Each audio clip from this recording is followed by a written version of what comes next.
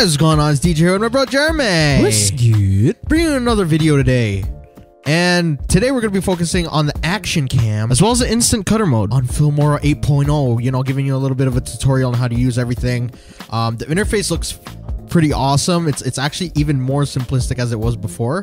Um, but yeah, Jeremy's gonna get into more of the details and and what you can do with this new feature. So without further ado, Juju, Jeremy, All right, so first off, you're going to want to open up Filmora, and right away, you're given four different options. So you can choose between Action Cam, Full Feature Mode, Easy Mode, as well as Instant Cutter.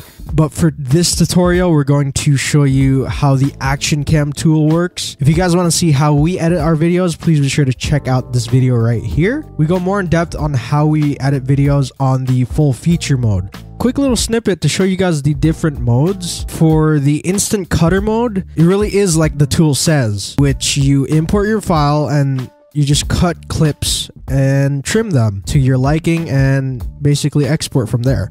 For the easy mode, it's very similar to the instant cutter where you import files, but this time you can add different themes, you could add background music, change the style of the video, and yeah, that's pretty much it for the easy mode. And like I said, if you guys want to see a tutorial on the full feature mode, please be sure to check out the link down in the description, as well as this link up on the top right of the video.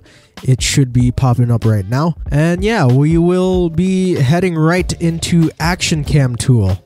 The Action Cam is mainly used for in real life videos like vlogs or if you're doing sports, something like that. This will definitely help out your movement shots. And yeah, let's head right into it. You're gonna want to import the file that you want to edit. And keep in mind, this editor mode allows you to edit one clip at a time. After you've selected your clip, you can head up to the options on the top left of the screen and there's three different panels and within each panel is different uh, effects and settings. The first panel is fix and it has options for lens correction, stabilization, as well as audio denoiser. And if you guys are using an action cam such as GoPros or something along those lines, it does give you options for those lens correction, but I used an iPhone for this shot right here. I essentially did not need it to correct the lens that I was using. But in order to use this effect correctly,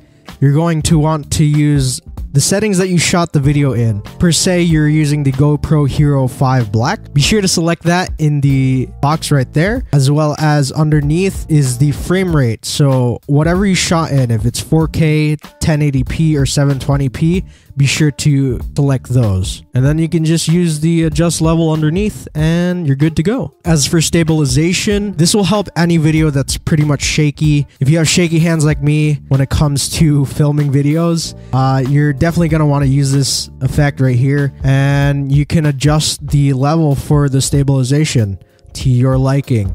The higher it is, the more it will flow. The less there is, the more shaky it will be. So it's all preference. If you guys want to play around with it, you definitely can. And as for the audio denoiser, it helps get rid of background noise that's in your videos. Just like the stabilization, you can adjust it to your liking and play around with it. In the next panel, it contains the speed, of the video. You can speed the whole video up or you can choose a piece of the clip to speed up and or slow down. All the options are here. Once you add the marker, it will show up on the bottom screen as a little rabbit. So that little clip that is under the little rabbit is whatever is being sped up or slowed down. If you guys want the whole video to be sped up slash slowed down or if you want a small piece, make sure you click the corners of that little box and drag it to your liking. Underneath that is freeze frame and it's the opposite of the speed and it basically holds whatever clip that you want to be held. As for right here,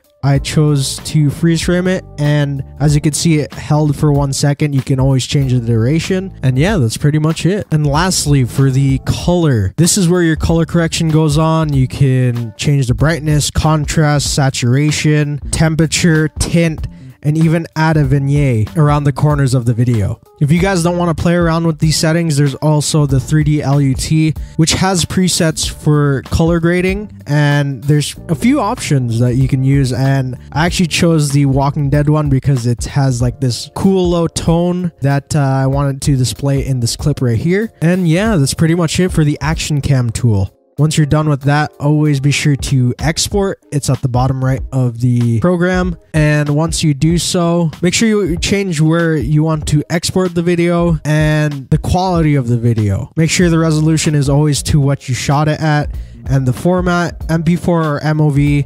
Either or is okay. It really is preference but make sure the frame rate and the resolution are to how you shot the video initially and you're pretty much set. You just wait for the video to export and you can upload straight to YouTube. So that wraps up this quick tutorial. Like I said, if you guys want a more in-depth video on how we edit on full feature mode, please be sure to check out the video down below. There's also the link up on the top right of the video as well. And yeah, thank you to Filmora for partnering with us on this video. We could not have done this without you guys. Let us know your thoughts in the comments down below. If you guys need any more help on these videos, please be sure to hit me up. I will definitely reply to anyone who needs help. If you guys have any more tips, also leave it down in the comments. And with that being said, thank you guys for watching, and we'll see you guys in the next one. Bye!